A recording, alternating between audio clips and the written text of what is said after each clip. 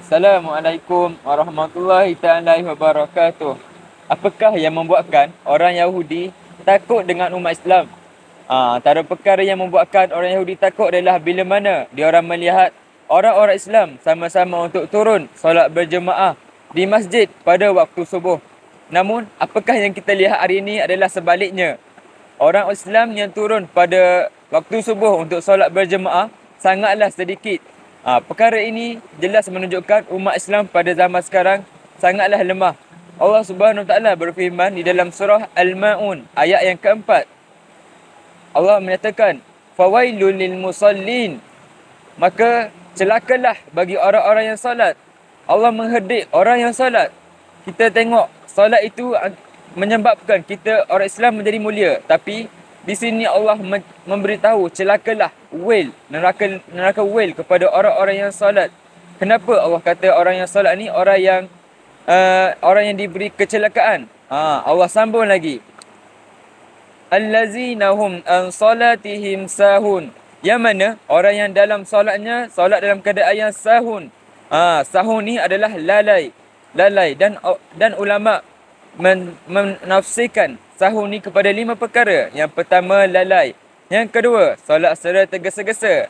Yang ketiga, solat dalam keadaan yang malas. Dan yang keempat, dia solat dengan main-main. Kadang-kadang dia nak solat, kadang-kadang dia, kadang-kadang dia tak mau solat.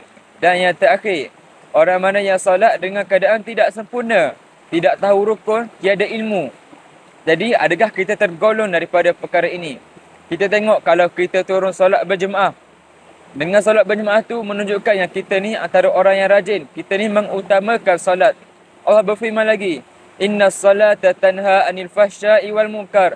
Sesungguhnya solat-solat itu akan mencegah daripada perkara yang buruk dan juga perkara yang mungkar. Jadi solat inilah menjadi pemangkin untuk kita mencegah daripada perkara-perkara yang buruk dan perkara-perkara yang menyebabkan kita dilaknat oleh Allah.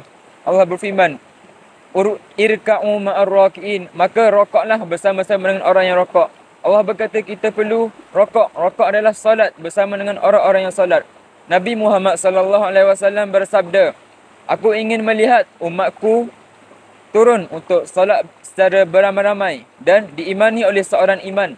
Dan aku akan menyuruh sahabat-sahabat aku mengumpulkan kayu api untuk aku bakar rumah orang-orang yang tidak turun solat berjemaah. Allah Nabi Muhammad sallallahu alaihi wasallam sangat menekankan untuk kita solat berjemaah. Jadi sebagai umat Islam, umat Islam yang mana sejati, yang mana faham akan kefahaman Islam, kita perlu mengutamakan solat berjemaah.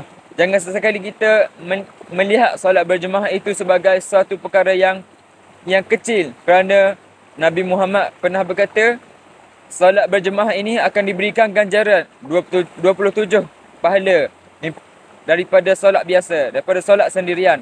Jadi ayolah wahai pelajar-pelajar mahasiswa untuk kita cakna dengan solat kita. Kita penuhilah masjid-masjid, masjid UPM, surau-surau college untuk pastikan untuk kita tunjukkan kepada orang ramai yang mana kita ini adalah orang Islam yang kuat yang kuat dari segi imannya. Jadi itu saja untuk hari ini. Assalamualaikum warahmatullahi wabarakatuh.